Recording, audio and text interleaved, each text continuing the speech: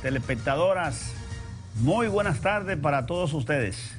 Esperamos que hayan pasado un buen fin de semana en descanso, en tranquilidad, en comunicación con el Todopoderoso, pero sobre todo cuidándonos del coronavirus. La gracia, como siempre, a todos ustedes que nos permiten entrar a sus hogares para llevarle una entrega más de su espacio más profundo que se transmite por este canal RNN, Red Nacional de Noticias, Canal 27. La gracia a todos los que nos siguen en el área triestatal de los Estados Unidos y en toda la América Latina, donde llega la señal imbatible de este, su canal 27, RNN. El programa más profundo pertenece al grupo DG, David Gabriel, que tiene varios programas al día, más profundo con John Berry, lo ideal de la hora también tiene, no, más profundo no. Aquí con John Berry, lo ideal de la hora, más profundo con Leonardo Suero, Pega Tigana con el Pachá, el canal eh, informativo de las redes sociales, cachicha.com y otros medios de comunicación. Si usted quiere invertir en anuncios, si quiere que se vean y le llegue al público, pues póngase de acuerdo con el grupo de G. Mire, también si va a moverse de su casa, pues puede eh, comunicarse con nosotros o conectarse con nosotros, sería el término, en la dirección electrónica rnn.com.do. Repito, rnn.com.do en todas las redes sociales y también en YouTube, en la dirección electrónica Lo Ideal de la Hora TV. No puede ver ahora, no puede ver más tarde. Si va a salir, puede y tiene internet, puede ir mirando el programa en su celular, en su dispositivo móvil, lo que fuese. A usted sabe que es, este es un programa que está al servicio de ustedes, este es un pulmón que le ponemos para que puedan decir las cosas que en otros lugares no le permiten decirlo. Vamos a una pausa y cuando regresemos estaremos compartiendo con ustedes informaciones internacionales, no sin antes decirle que en cualquier momento que ustedes lo prefieran pueden llamar a este su espacio más profundo. Adelante, señor director.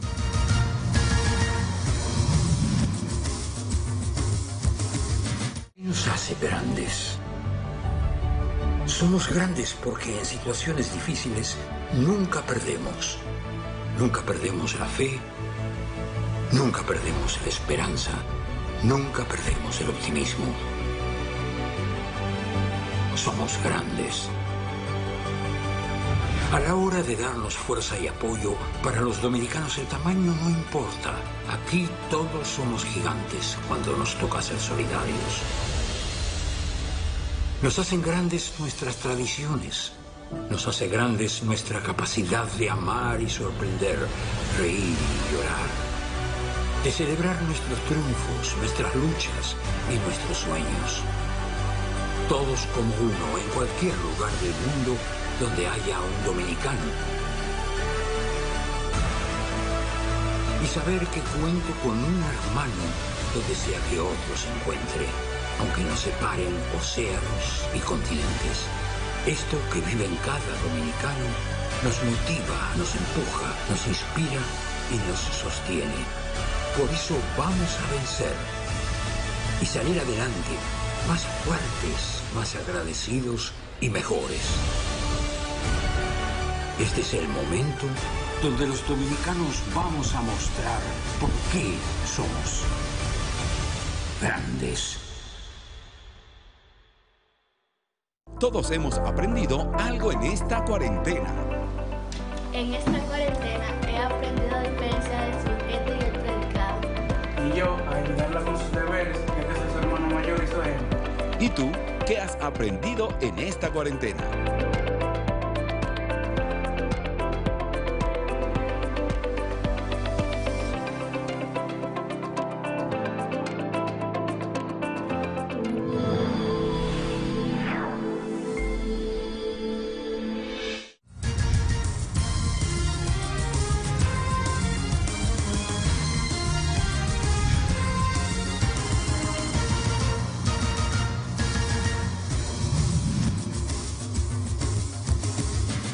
Con su espacio más profundo, disfrutando este solvo de café.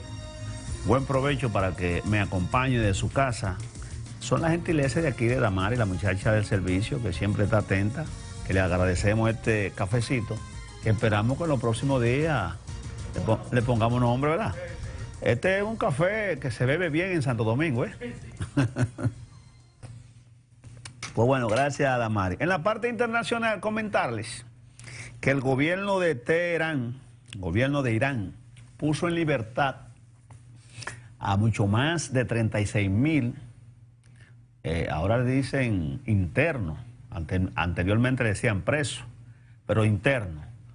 36 mil ciudadanos fueron puestos en libertad en ese país de Oriente Medio por que las autoridades quieren evitar la propagación del coronavirus. Usted sabe que en las cárceles, aunque se tomen la medida preventiva del lugar, pues no hay el alejamiento social y el hacinamiento se mantienen, porque los patios, las propias cerdas, son de un tamaño que regularmente hay muchas más personas eh, hospedando en esas cárceles que la que realmente tiene la capacidad del espacio físico. Y en los patios, pues hay muchas mezclas en los comedores, en los baños.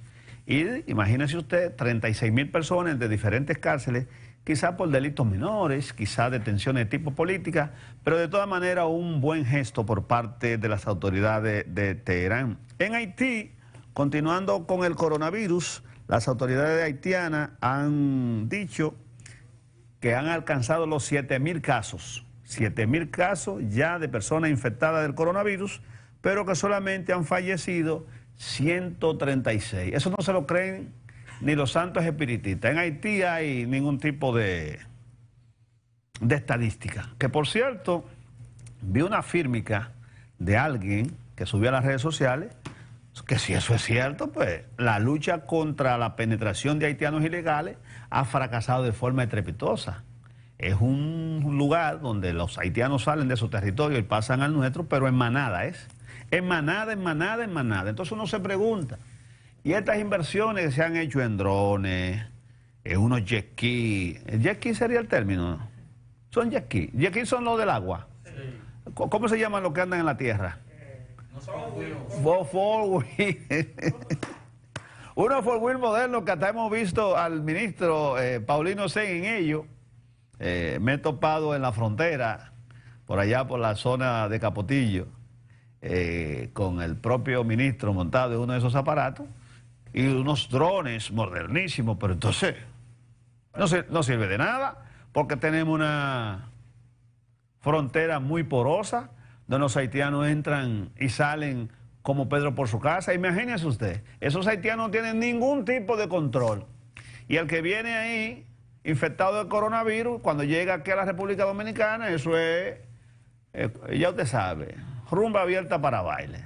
Es decir, que de alguna forma el ministro Paulino Sen, el general Gonel, que es el encargado del ejército, tienen que explicar a la nación dominicana por qué con recursos propios del erario o, con recursos del, erario que se pagan los sueldos de esos militares y también se compran sus habituallamientos, pero sobre todo la tecnología.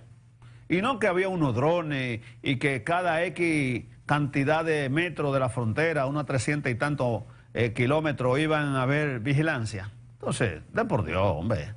Si eso es cierto, lo que vimos en las redes sociales, pues necesariamente eso ha fracasado de forma estrepitosa. Lo que están tomando medidas en contra del coronavirus son los franceses. Los franceses han adoptado la mascarilla o tapaboca de tipo obligatorio. Nosotros aquí tenemos la nuestra.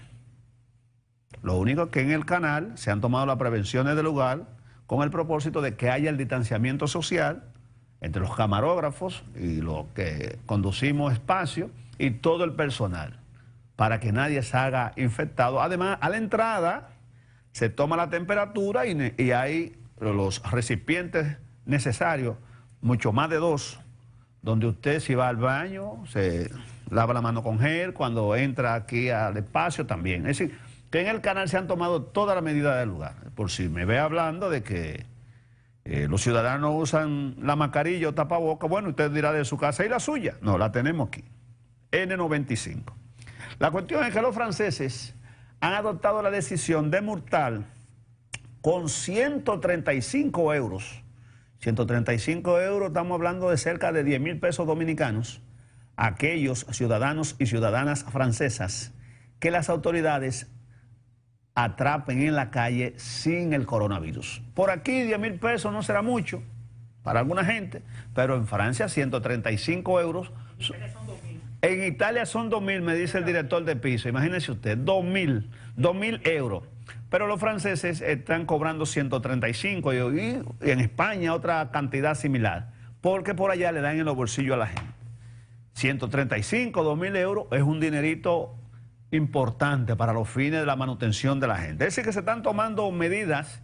El que no le da mente al coronavirus es el presidente de los Estados Unidos, Donald Trump, que sigue impertérrito en la busca de su respotulación, aunque las encuestas le están dando por debajo de, de los números que esperan su, su consejero, sus asesores electorales él se burla de eso. Decía, bueno, pero yo cuando eh, en el 16 Hillary Clinton me llevaba 20 puntos y le gané. En esta circunstancia le voy a ganar también a John Biden. Yo creo que la pava no pone donde ponía porque la economía norteamericana ha colapsado. Y el manejo por parte del gobierno norteamericano al coronavirus no ha sido el mejor. Eso ha provocado que una cantidad inconmensurable de ciudadanos norteamericanos blancos y negros, afroamericanos y latinos que se han hecho ciudadanos norteamericanos y que viven allá hayan muerto. Es decir que no creo que la tenga toda con él para lograr repostularse y tener el voto de esa gran cantidad de sectores minoritarios que cuando lo unen puede ser una gran mayoría, sobre todo por el tratamiento que el gobierno norteamericano en la cabeza de Donald Trump le han dado a esos ciudadanos. Bueno, el señor vive chocando con cualquiera, pero bueno, de eso se trata. Mire, darle el pésame en el Simón Bolívar a los familiares del hermano y amigo Chico Hierro, conocido con ese mote, vivió en la calle Jalisco casi al final. Nosotros pasamos la revolución ahí, frente a la casa de Chico Hierro, nos acordamos como ahora. Tenemos que darle el pésamo a Amara, que hija era hija de Chico Hierro, a Juana, su esposa, y a Niño. Niño que se encuentra residiendo en los Estados Unidos. Pues ahí en la Jalisco, Cristóbal Colón, si usted menciona quién es Chico Hierro, todo el mundo le va a decir de quién se trata. El pésame condigno para esos amigos que nos creamos todos juntos, uno chocando con el otro. Tuvimos siempre una amistad interesante de, de jóvenes y adolescentes. Y Chico Hierro lo único que hacía era que se, tiraba su traguito. Pero después era una persona tranquila. Murió del COVID-19 y como es natural, cumpliendo con el protocolo, las autoridades tuvieron que ordenaron su sepultura rápidamente. Así que fíjese, murió en el día de hoy y, y hoy mismo fue sepultado. Lamentamos nosotros la muerte de Chico Hierro, una persona afable y nosotros esperamos que el Todopoderoso lo tenga en un lugar importante. Eh, hablando de COVID-19, nosotros tenemos por aquí, vamos a ver si, nos, podemos buscarlo, el decreto presidencial, aquí lo tenemos, el decreto presidencial que eh, después de la aprobación por parte de las cámaras de diputados y de senadores, eh, estableciendo una nueva cuarentena. Es el número 267-20 del día de hoy. El señor presidente de la República, Danilo Medina Sánchez, atendiendo las facultades que le da la Constitución de la República en su artículo 218. Antes era el 210 y el 55. 210 cuando Santana, pero el 55 en la época de Balaguer. A partir de la modificación de la Constitución de la República, que adoptamos una nueva constitución un 26 de enero del año 2010, pues el artículo que da facultades para emitir decreto al señor presidente y otras medidas es el artículo 128. Establece claramente en su artículo primero, se establece el toque de queda de lunes a viernes de 7 a 5 AM, 7 PM, 7 de la noche a 5 AM de la mañana y los sábados y domingos de 5 de la tarde a 5 de la mañana del día siguiente.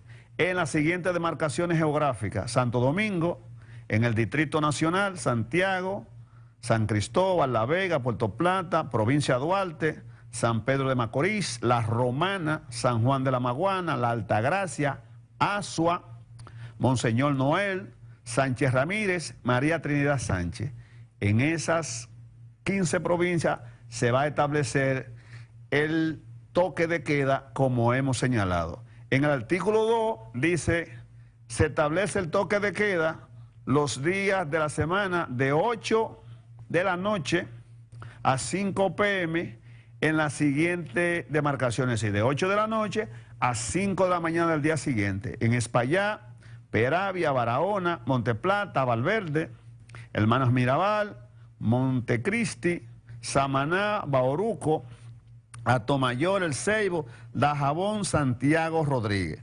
También en San José de Ocoa, Elías Piña, Independencia y Pedernales.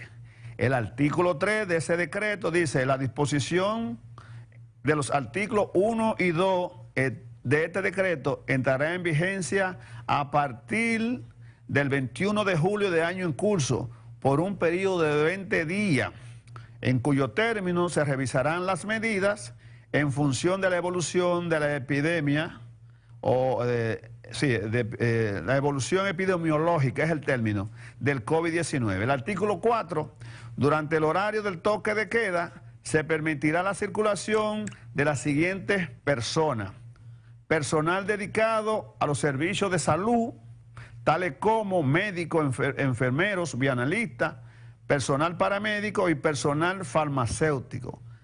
Dos, personas con alguna emergencia médica que necesite dirigirse a algún centro de salud o farmacia. Tres, personas dedicadas a las labores de seguridad privada debidamente identificadas. Cuatro, operadores de vehículos técnico de empresas e instituciones prestadoras de servicios de emergencia, coma, agua potable, telecomunicación y recogida de desechos sólidos debidamente identificada, exclusivamente durante el ejercicio de sus funciones laborales. 6. Operadores de vehículos dedicados a la distribución urbana de, e interurbana de mercancía, insumo, combustible debidamente identificados exclusivamente durante el ejercicio de sus funciones laborales. Siete, personas que laboren en las industrias, el comercio de alimentos y productos médicos y farmacéuticos y estén en tránsito hacia o desde el lugar de trabajo, siempre que porte eh, identificación de una empresa autorizada para la Comisión del Alto Nivel para la Prevención y Control del Coronavirus.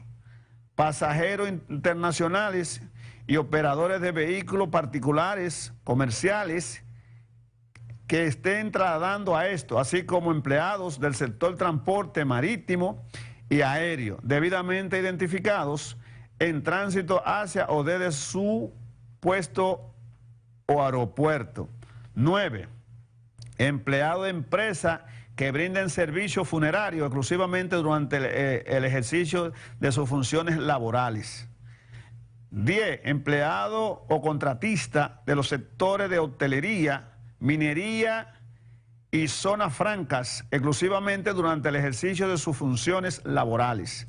Artículo 5 de ese, de ese decreto se ratifica el uso obligatorio de mascarilla en los lugares públicos, en los lugares privados de uso público como medida esencial para controlar la propagación del COVID-19, cuyo incumplimiento será sancionado con las disposiciones que establece la, que establece la ley número 42-01 General de Salud del 8 de marzo de 1900, de del 2001, perdón.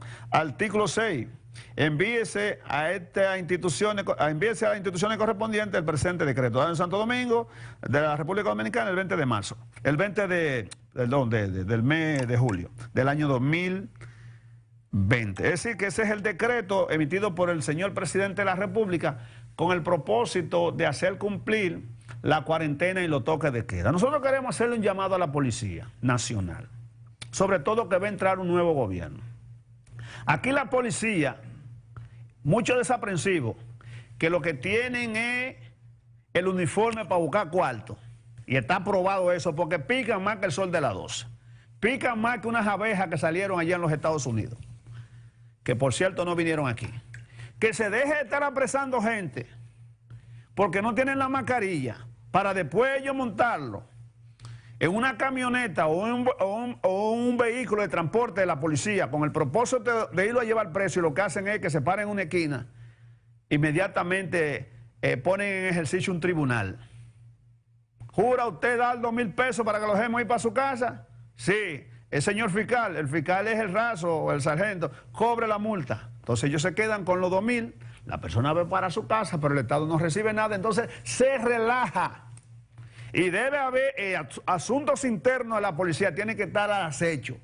Porque en las este, cuarentena pasada hubo muchos policías que cumplieron con su deber y nosotros los felicitamos. Pero hubo muchos que, mira, la payoya de papeleta. Porque si detienen 100 gente en la noche, de a 200, de a 2 mil pesos, 1.500, y no se sabe cuánto más, cuando viene a veces van con miles de pesos en la noche, cobran en una noche lo que no se van a ganar en seis meses como policía. Y de lo que se trata es que nadie se aproveche de esta situación.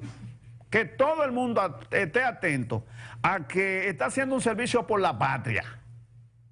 Y usted, si, si el sueldo de la policía no le da, coja y renuncie. Tan sencillamente como eso. Pero no se aproveche de esta situación de coronavirus y esta pandemia para usted lucrarse. No son todos como es natural, pero hay muchos que se la buscan, que están así, ¡ay, qué bueno! Es igual que, por ejemplo, cuando alguien atraca un banco o atraca una casa de joyería, que la policía le cae atrás y está contentísima, porque sabe que ese dinero de ese banco, de esa joyería, tiene un seguro. Y cuando atrapan al tipo, lo pueden atrapar en la basílica, confesándose y cogen y lo matan y de los chelitos aparecieron 500 pesos y el resto, San se acabó. Y eso no se investiga y así se queda. Que no es la generalidad, pero se ha dado. Entonces uno entiende y, y piensa que en estos momentos las cosas deben ser distintas. Sobre todo porque entra un nuevo gobierno y estas medidas van a ser revisadas dentro de 20 días. Es decir, que si estamos hablando del 21, el día 9, el propio gobierno de Danilo Medina, que todavía le quedará poco menos de una semana para salir, estará revisando esta medida con el propósito de ver si durante los 45 días que se aprobó por parte de la Cámara de Diputados y de Senadores de esta cuarentena puede prolongarse o dejárselo al nuevo gobierno. Que por cierto, hablando de salud, el señor presidente electo, Luis Abinader, acaba de designar al señor Plutarco Aria, ministro de Salud Pública y Asistencia Social, y a la doctora Ibelice Acosta, viceministro de Salud Colectiva. Felicidades a esas dos personas que van a ocupar funciones públicas de relevancia. Hay subenvita dentro del PRM, sobre todo del área de San Francisco, de San Pedro de Macorís, porque se pensaba que la línea era el doctor Férez Iglesias. Me dicen que para allá por Neiva el doctor Mario Lama está dado el pecado porque pensaba que era él también. La cuestión, amigo mío, es que son muchas cabezas y pocos sombreros. Entonces, necesariamente hay que tener paciencia, no presionar al señor presidente electo y dejarlo que eh, pueda trabajar y este, eh, designar su gabinete, que es lo importante. Los casos de coronavirus, que lo estamos mencionando en, esta, en, esta, en este eh, espacio del programa, en la República Dominicana van por encima de los, eh, los 51.500 y subiendo. Vamos a ver si los ciudadanos dominicanos adoptamos la medida condigna con el propósito de que se eviten las muertes por esta enfermedad. Mire, una cosa importante es que hablando de coronavirus, debe haber algún tipo de, como de coordinación por parte de las autoridades, porque ahí vimos a la, a, la Dirección de la Defensa Civil que acaba de anunciar la clausura de todas las playas para evitar el contacto social entre las personas, el roce social.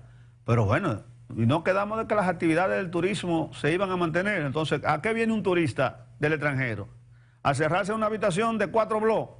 ¿O a irse a unas alturas moro a, a uno de esos eh, eh, buffets que dan? No, usted quiere ir a la playa. Entonces, cuando se cierran todas las playas, hay que suponerse que se cierran las de los hoteles y todas, públicas y privadas. O sea, eso hay que aclararlo para que no haya confusión dentro de los tour operadores y de las personas que manejan esta área de turismo. Una cosa interesante y es que del señor eh, asistente militar de Danilo Medina, el señor Adán Cáceres Silvestre, debe de explicarle a la nación. Es la información que trae Nuria Piera el sábado. Cáceres, Adán Cáceres Silvestre está siendo señalado más que, por, más que por el rumor público, con prueba contundente de haberse enriquecido de forma ilegal a través de Tetaferro. ¿Lo dice Leonardo Suero? No, lo dice un programa especializado de Nuria Piera. Y trajo más que una muestra. No trajo un botón, no. Trajo una falda completa con botones pegados por pipa. O un traje. Es más, más botones que esta chacabana. Porque el señor Adam Cáceres tiene que decirle al país si cuando hizo su declaración jurada de bienes, cuando entró como ayudante militar del señor presidente Danilo Medina, que creo que era coronel, me parece que no era general, fue ascendido al rango de general, él tenía todos esos bienes que posee hoy, casas multimillonarias, posee siete u ocho empresas a través de Tetaferrato, que según Nuria y el programa de investigación que ella hizo, con una señora evangélica pastora. Exhibe eh, unas naves donde se le crían cerdos y pollos de forma climatizada, una cosa modernísima. Que por cierto, los habitantes de, de Sabana Grande de Boyá, de Gonzalo, por ahí, están al grito al cielo con la contaminación que él está provocando en esa zona. Entonces, repito yo, Adán Cáceres Silvestre, así es, debe hacer una rueda de prensa y decirle a la nación que lo que ha dicho Nino Nuria Piera no responde a la verdad, porque me mío el que calla otorga. Entonces nosotros esperamos que por lo menos con Adán Cáceres Danilo Medina, presidente que está saliendo, de un ejemplo. Porque fue Danilo Medina y más nadie que le dijo a la nación dominicana que cuando el rumor público señalara a un funcionario de su gobierno y a donde sepamos, Adán Cáceres, Silvestre, funcionario militar de su gobierno, que lo señalaran con actos de corrupción, él lo iba a llamar a un consejo de gobierno y le iba a pedir explicación. Y si no lo complacía, lo iba a cancelar. Y uno entendía que cuando lo cancelara, el Procurador General de la República le iba a echar mano. Eso no lo dijo Leonardo Suero. Eso no lo dijo Panchito Trucupey. Eso lo dijo el presidente que comprometió su palabra. Que cuando jura la Constitución, dice jurar, respetar la ley y la Constitución de la República. Entonces nosotros esperamos que por lo menos antes de irse, Adam Cáceres sea cancelado. Porque Nuria lo llamó. Nuria lo llamó para que explicara el porqué de esa riqueza. Y Adán Cáceres dio la callada por respuesta. Hoy es así el negocio. Usted, usted de ser un simple coronel, que es lo más probable que siendo coronel, pues viviera más o menos regular. Hoy salí con una, una riqueza extraordinaria. Sobre todo, porque si es por acto de corrupción, también hay lavado de activos. Entonces él, militar joven, debe no dar la callada por respuesta, sino hacer una rueda de prensa con su familia al lado y con la pastora al lado y decirle que un señor que lo está acusando de haberlo despojado con complicidad con autoridades del CEA de unos metros importantes de terreno que compró donde se han construido una vivienda supuestamente para militares, si eso tiene el visto bueno del Ministerio de la Fuerza Armada, porque ahí se están construyendo una casa para los supuestos militares. en un terreno que lo despojaron a un señor según la fírmica. Pero hay otras casas cuyo valor sobrepasa más de un millón de pesos y la bola pica y se tiende. Entonces esto debemos jugar a la transparencia, porque es verdad que la gente se cansó de alguna manera del PLD, pero de las cosas que se, se cansaron fue de la impunidad. Y reitero yo, Danilo Medina Sánchez le dijo a la nación, cuando el rumor público señale a un funcionario, lo voy a llamar a un consejo de gobierno. Que Adán Cáceres, Silvestre, a cuyas funciones le quedan menos de un mes, que cuando salga del poder y el secretario de defensa, el señor Díaz Morfa, jale y le pregunte la procedencia de esos bienes, que no venga con el cuento que es persecución política, que no venga con el cuento que lo quieren estigmatizar, porque a usted se le llamó del programa de Nuria, programa valiente que es Nuria. Hoy, ¿por qué usted no dice qué procedencia tiene ese dinero y si es verdad lo que se le está indicando? Pero el señor presidente, de por Dios, no se eche toda esa culpa arriba. No deje que en medio de esta barahunda que tiene el Partido de la Liberación Dominicana, sobre usted caiga la estima de ser un apoyador de la corrupción. Todo el que tenga su batata asando, que vaya y le dé vuelta. Que cuando viene a ver lo que ve come carbón y no batata. Vamos a una pausa.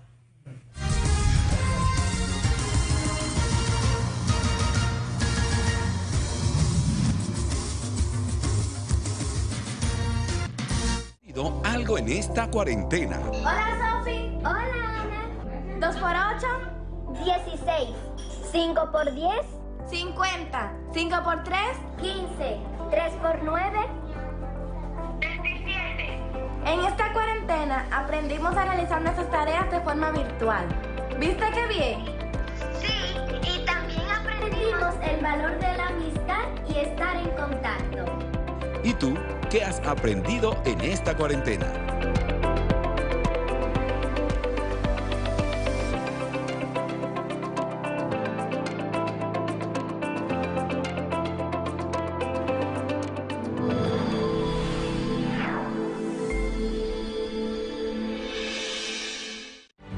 ¿Qué nos hace grandes? Somos grandes porque en situaciones difíciles nunca perdemos. Nunca perdemos la fe, nunca perdemos la esperanza, nunca perdemos el optimismo. Somos grandes. A la hora de darnos fuerza y apoyo, para los dominicanos el tamaño no importa. Aquí todos somos gigantes cuando nos toca ser solidarios. Nos hacen grandes nuestras tradiciones. Nos hace grandes nuestra capacidad de amar y sorprender, reír y llorar. De celebrar nuestros triunfos, nuestras luchas y nuestros sueños. Todos como uno en cualquier lugar del mundo donde haya un dominicano. Y saber que cuento con un hermano donde sea que otro se encuentre, aunque nos separen océanos y continentes. Esto que vive en cada dominicano nos motiva, nos empuja, nos inspira y nos sostiene. Por eso vamos a vencer y salir adelante más fuertes, más agradecidos y mejores. Este es el momento donde los dominicanos vamos a mostrar por qué somos grandes. ¿Qué nos hace grandes? Somos grandes porque en situaciones difíciles nunca perdemos. Nunca perdemos la fe, nunca perdemos la esperanza, nunca perdemos el optimismo. Somos grandes. A la hora de darnos fuerza y apoyo, para los dominicanos el tamaño no importa. Aquí todos somos gigantes cuando nos toca ser solidarios. Nos hacen grandes nuestras tradiciones. Nos hace grandes nuestra capacidad de amar y sorprender, reír y llorar. De celebrar nuestros triunfos, nuestras luchas y nuestros sueños. Todos como uno en cualquier lugar del mundo donde haya un dominicano. Y saber que cuento con un hermano donde sea que otro se encuentre, aunque nos separen océanos y continentes. Esto que vive en cada dominicano nos motiva, nos empuja, nos inspira y nos sostiene.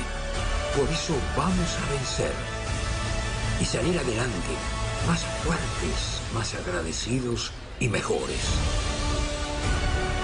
Este es el momento donde los dominicanos vamos a mostrar por qué somos grandes.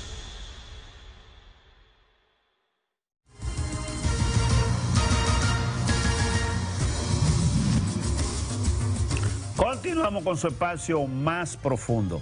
El sábado pasado, cumpliendo con un ritual y que le prometía a mi padre que su tumba nunca iba a estar sucia mientras yo estuviese en salud, y fruto del coronavirus tenía unos mesecitos que no iba a fumigar la tumba de mi papá, que está enterrado en el cementerio Cristo Redentor. Entonces cogí para allá, me topé con una gran cantidad de maleza, al extremo que debo devolver el sábado porque no completé. Porque yo, aparte de que fumigo la tumba del viejo mío al lado, ahí, donde está todas las demás tumbas que están adyacentes, pues yo le tiro, rondó ahí, valga la publicidad. Pero me encontré con una noticia agradable.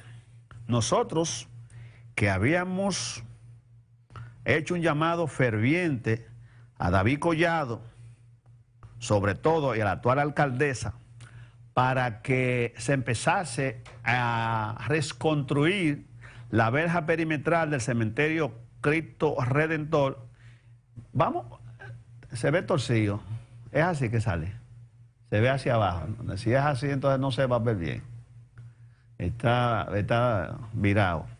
Bueno, en lo que si se puede arreglar, la cuestión es que estuvimos en el cementerio Cristo Redentor. Nosotros presidimos una fundación, se llama Fundación para el Rescate y Saneamiento de los Cementerios del País, y somos miembros de la Red Iberoamericana de Valoración y Gestión de Cementerios Patrimoniales. Hemos ido a varios países a estos congresos que se dan todos los años. Pues habíamos pedido la reconstrucción de la verja perimetral del cementerio Cristo Redentor en innúmeras ocasiones a través de los medios de comunicación, porque Roberto Salcedo, flamante síndico del Distrito Nacional, que ahora pasó para el PRM, en 14 años que estuvo al frente de la municipalidad, dos periodos de cuatro años y uno de seis, no le puso un solo blow a esa verja perimetral. Un solo blow.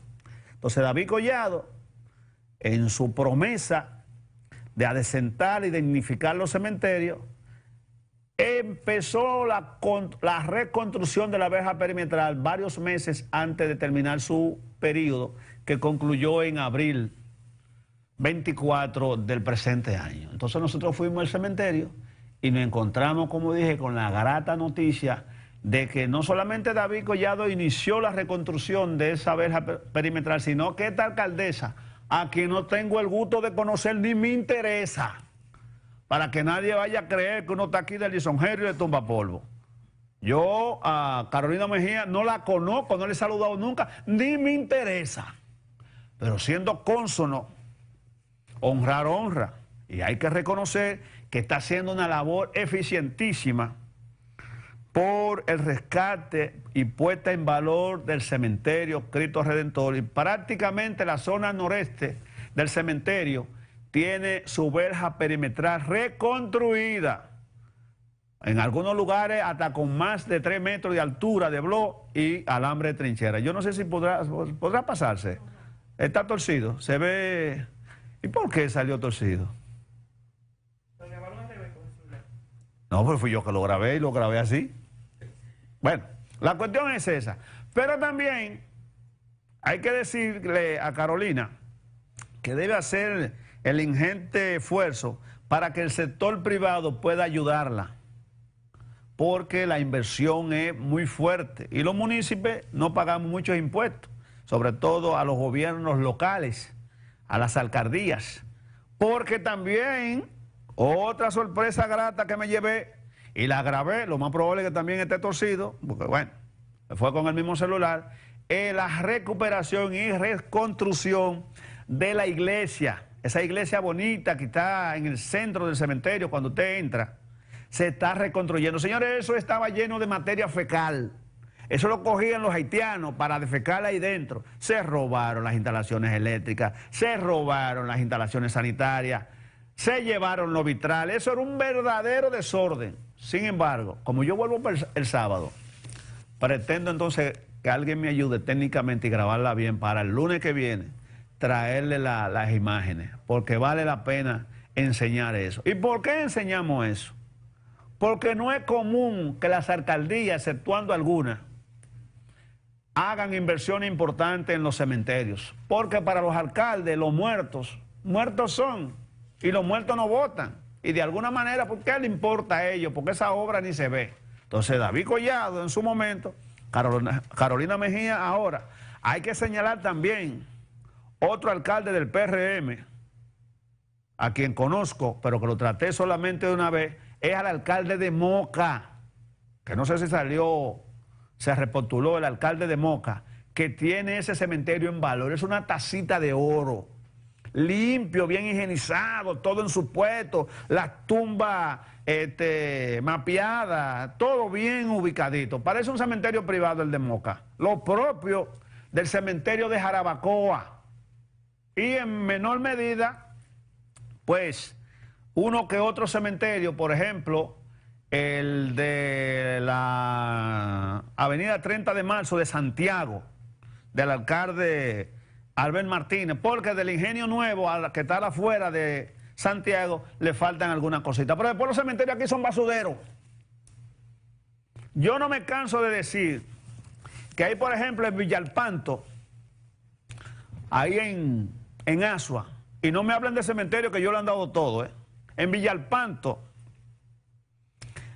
hay un vertedero dentro del cementerio,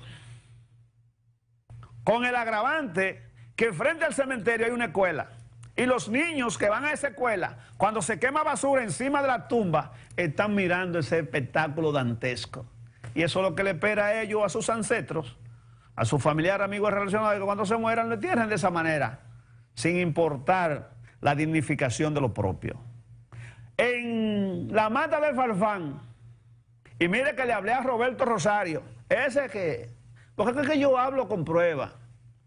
Ese Roberto Rosario, que es muy flamante y, que compró unos equipos en la Junta Central Electoral de 40 millones o 30 millones de dólares, que no se sabe qué lo hizo. En una ocasión le dije, hermano, yo tengo esta fundación, vamos a hacer una inversioncita mínima ahí en el cementerio de la Mata de Farfán, donde debe tener familia ¿eh? enterrada. Usted sabe que los muertos en el cementerio de la Mata de Farfán, cuando llueve hay que, hay que darle un equipo de buceo y alcafandra porque el agua inunda toda parte importante del cementerio.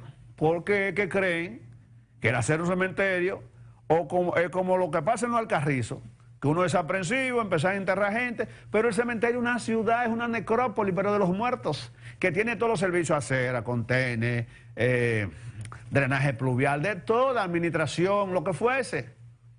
Entonces aquí hay gente que se inventa Alguien en la mata de Farfán, el cementerio se llenó y donó un pedazo de tierra, una finca donde crían vacas. Pues ahí están las vacas comiendo patizales dentro del cementerio. Y lo propio está aconteciendo aquí en el cementerio de Santo Domingo Este, que no lo decimos como una manera de atacar al alcalde, mucho menos.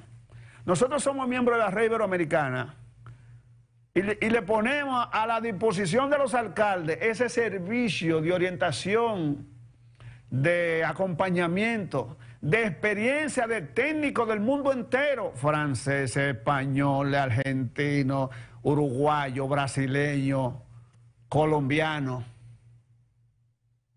Y seguimos sumando, de gente que ha estudiado el tema, que son científicos del área del cementerio y la preservación de los patrimonios. Se lo ponemos al servicio gratis, no hay que dar un peso, pero ni así le ponen caso. ¿Usted quiere bien manejar un cementerio? ¿Usted quiere entrenar a su gente bien? Porque ¿qué es lo que pasa aquí? A cualquier compañerito de la base le dan la administración del cementerio, ¿qué es lo que va a hacer? A buscársela, a vender espacio, a ocupar las aceras, a ocupar las calles y buscarse unos cuartos rápidos, porque hay unas mafias bastante organizadas. Que no es verdad que ningún jodido sindicato puede decirle a usted que si no es conmigo no puede pintar la tumba. Que si no es conmigo no puede eh, hacerle ningún arreglo a tu nicho. Eso es mentira. Porque la constitución de la república solamente preserva los monopolios cuando son al servicio del Estado. Esas personas que están en los cementerios bien pueden ganarse su vida. Si usted de manera este, voluntaria va y contrata los servicios de ellos, pero nadie lo puede obligar a que sean con ellos que se pinte o se arregle. Eso no es verdad. Ahora, lo que pasa es que las autoridades de algunos ayuntamientos, administradores, entran en conciliámbulo con esos tipos y todos picamos. 50-50 en algunos momentos. Entonces de eso se trata. Organizar la casa. Entonces tengo que decirlo. Le damos las gracias a Carolina Mejía, que vuelvo y reitero por aquí, ni la conozco ni me interesa. Para que nadie vaya a creerse que con este comentario que estoy haciendo estoy mandando metamensaje.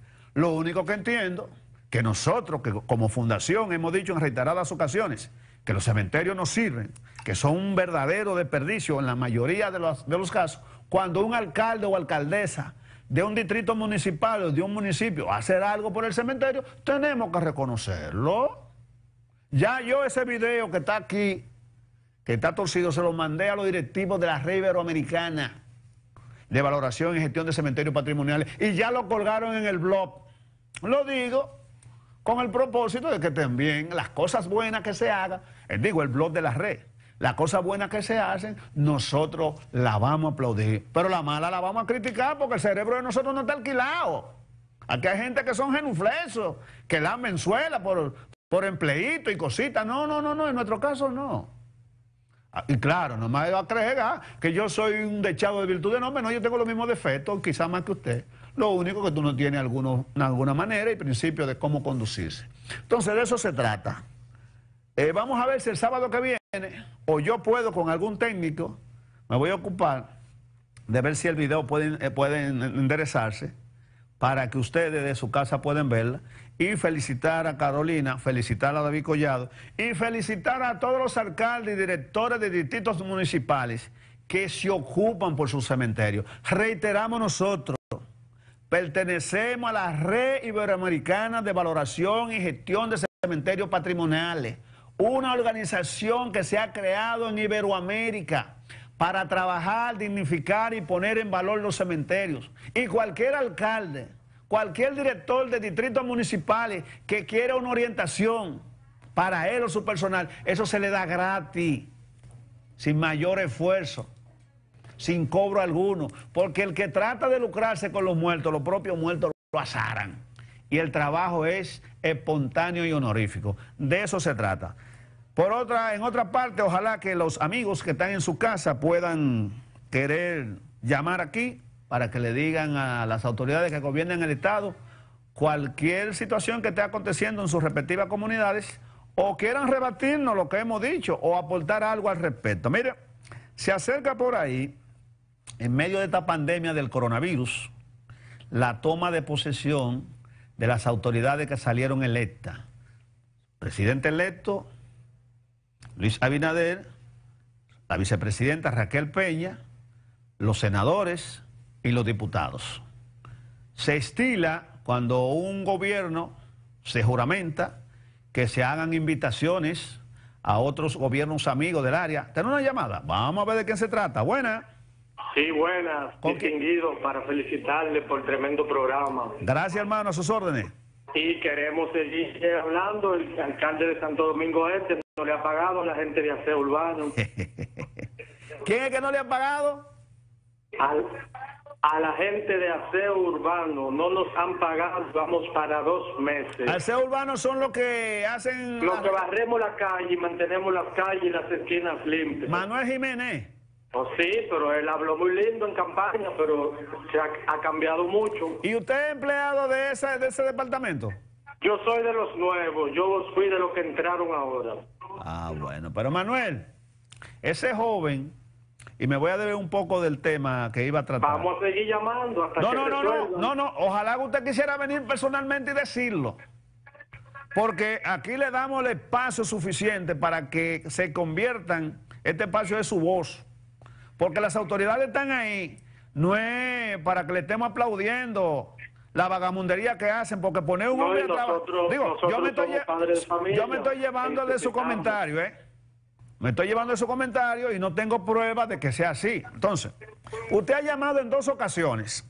Sí. Nosotros queremos ponerle el programa al servicio del encargado de aseo urbano, que pueda llamar o venir aquí y decir que lo que usted está exponiendo no responde a la verdad. Porque la realidad es que usted hace compromiso de pasaje, lavado de ropa, desayuno, pero con lo que gana lo No, más pero vamos a ir al programa, no hay ningún problema, porque se está diciendo la verdad. No, no, lo que, lo que le quiero decir es que lo con lo que usted gana le sirve para mantener su familia. Entonces Manuel Jiménez no tiene dos meses que no cobra. La encargada Bueno, de recursos humanos no tiene dos meses que no cobra. Los funcionarios de alta jerarquía que tiene Manuel Jiménez no tienen dos meses que no cobra. Entonces, si es así, deben entonces de hacer el sacrificio continuo y pagarle ese humilde ciudadano que se levanta en hora de la madrugada a barrer la calle para que esté hermoso el municipio. Entonces nosotros ponemos al servicio de las autoridades este espacio para que llamen mañana o vengan y desmientan al señor que está ahí, porque como él señaló hace un momento, no se trata de atacar por atacar. Ustedes prometieron eficiencia, ustedes prometieron el cambio. Entonces, si sacaron el cañero por malo y pusieron a Manuel Jiménez, porque es una persona comprometida con las causas sociales, y nosotros creemos que sí, entonces, de por Dios, páganle a esa gente. ¿Quién es el relacionador público del ayuntamiento? de Santo Domingo Este. Lo voy a averiguar mañana y de antemano le ponemos el programa a su disposición para que desmientan esas cosas. Tenemos otra llamada, vamos a ver quién se trata. Buena. Aló, buena. ¿Con quién hablamos y de dónde? Juan Martín del Distrito Río Grande, Altamira. ¡Ey, Altamira, la tierra de Bartolo Colón! Sí, lo estoy llamando para felicitarlo. Diga. Y lo, demás, y lo demás, para que le diga al ministro de la Pública, al que está de que entre, favor poner una señal antes de llegar a la bomba de Altamira para que los vehículos vayan mal paso, porque van como una bala de bólido. Ok. Y han habido ahí tres accidentes de muerte porque hay un cruce entrando de Altamira a Salafita Ok. y los que bajan del túnel para Puerto Plata no se ve cuando llegan a la bomba y hay un cruce de Altamira a la pista ahí en la bomba hay que poner una señal para que los que bajen bajen más al paso Ok, o, reductores de velocidad, ¿no? Reductores de velocidad Sí. para que la gente... Sí. Bueno, pues está hecha la denuncia Al ahí. llegar a la bomba de Altamira han habido tres muertes por accidente porque hay un cruce ahí. Bueno, ya el ministro Pepín, que ha hecho una labor importante, es la continuidad de Gonzalo Castillo en, el- en Obras Públicas, ha escuchado de usted esa denuncia de que se le pongan reductores de velocidad a ese paso que cuando usted sale del túnel, cerca de una bomba de combustible, pues hay un cruce y ha provocado algunos muertos. Bueno, eh, se nos quedaron una gran cantidad de temas, pero vamos a continuar mañana. Como siempre, que el manto protector de la Virgen lo cubra. Que las bendiciones del Todopoderoso recaigan sobre ustedes, familiares, amigos y relacionados. Y si me ven por ahí, al general Adam Cáceres Silvestre, díganle hay que poner los papeles claros.